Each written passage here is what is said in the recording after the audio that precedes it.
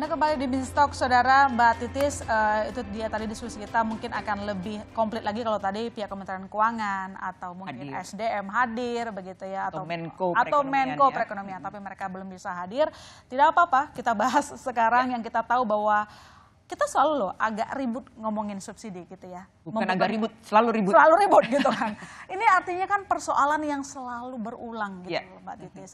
Uh, harga minyak global naik, kita tergoncang. Sekarang ya. dolar naik, kita ikut tergoncang. Apalagi tadi kan uh, permintaan berapa, produksinya cuma berapa ya. gitu. Catatan redaksional apa yang perlu kita benahi segera mungkin? Oke, uh, tadi sebetulnya narasumber kita sudah menceritakan, sebetulnya menceritakan dari awal sampai sampai sampai segmen 3 tadi mm -hmm. sudah diceritakan bahwa sebetulnya ada masalah di produksi. Mm -hmm. uh, produksi kita tuh hanya separuh dari kebutuhan. Itu jelas di hulunya ada persoalan dan itu membutuhkan eksplorasi. Mm. Sementara yang ditemukan adalah gas. Dan gas saat ini memang menjadi transisi untuk energi hijau. Mm. Tapi infrastruktur belum siap. Nah, konsekuensinya fosil, energi fosil masih harus menjadi tumpuan uh, industri dan konsumsi di dalam negeri. Nah, ya. fosil ini adalah ketika tadi uh, dari uh, Pak Satya dari Den sudah menceritakan bahwa sebetulnya ketika pemerintahan Presiden Jokowi menyebutkan tiga tahun, dua tahun lah, 2014, 2015 dan di awal 2016 bahwa harga BBM uh, dibikin non subsidi. Mm -hmm. Semuanya tiga bulan dievaluasi dan naik dan ketika itu memang masyarakat menjadi aware terhadap oke okay, kalau memang harga minyak naik maka konsekuensinya akan naik. Ya.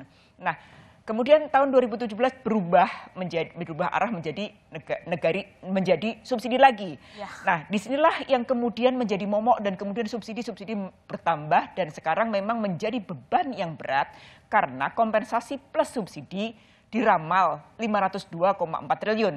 Itu terbesar sepanjang sejarah artinya memang negara harus subsidi sebagian harga yang yang memang dikeluarkan oleh pemerintah. Hmm. Dan memang betul bahwa subsidi itu sumber eh, sumbernya bahwa penerimaan negara salah satunya itu dari penerimaan pajak. Hmm. Nah, eh, bisa jadi bisa jadi pemerintah eh, rakyat akan bilang bahwa lo itu kan namanya negara memang punya kewajiban, tapi benar bahwa yang namanya subsidi harus jatuh ke tangan semestinya, ke tangan semestinya karena kita sudah mampu membeli kendaraan, terus kemudian kita masih juga bersubsidi gitu ya. masih masih bersubsidi artinya memang ada yang salah gitu ada yang salah belum lagi tadi notifikasinya adalah solar yang 98% itu memang disubsidi ya. ternyata memang dikonsumsi oleh tambang dan perkebunan mm -mm. dan Pertamina sekarang harus mencari data-datanya lagi sendiri nah itu kan sebetulnya itu dan memang anggaran itu ketika nanti dialokasikan, keputusan kita mengalokasikan untuk subsidi, maka ada yang tertinggal. Mm-hmm. Tertinggal ya ini pertumbuhan. Di sini dilemanya bahwa ketika pertumbuhan kita ditargetkan 5,3 persen, ya. maka membutuhkan engine lagi untuk mengeran itu, tidak semata-mata subsidi. Inilah yang menjadi persoalan berat bahwa anggaran bisa jebol kalau hanya subsidi dan pertumbuhannya tidak mungkin bisa mencapai segitu. Kalau kita memang memutuskan kita full full effort untuk memberikan subsidi. Itu hmm. sebetulnya persoalannya. Gitu. Dan kalau misalnya pemerintah tidak cepat dan tepat menaikkan yeah. harga subsidi, karena kan ada juga BBM non subsidi. Nah kemarin yeah. aja pas dinaikin yang non subsidi, hmm. orang pada migrasi ke yang subsidi. Artinya yeah. itu harus uh, cepat begitu. Yeah. Tapi gini Mbak Titis, ketika kita ngomongin bahwa pemerintah mau naikkan uh, harga. Uh, BBM harga, kita tuh tidak pernah tahu gitu formula harganya seperti apa. Ini aja yeah. udah liar ya, ya. sepuluh yeah. ribu, delapan ribu lima ratus. Silakan sebagai closing. Nah, uh, inilah sebetulnya ketika kita memutuskan akan menaikkan, ada baiknya pemerintah transparan. Oke. Okay. Apa sih sebenarnya komponen harga yang harus membuat BBM itu naik? Mm -hmm. Misalnya nih, berapa sih distribusinya, ongkos distribusinya? Itu satu. Kedua, berapa sih ongkos pengolahannya? Baik. itu harus terpampang, dibuka ke publik supaya publik juga mengetahui bahwa ini loh saatnya kita naik.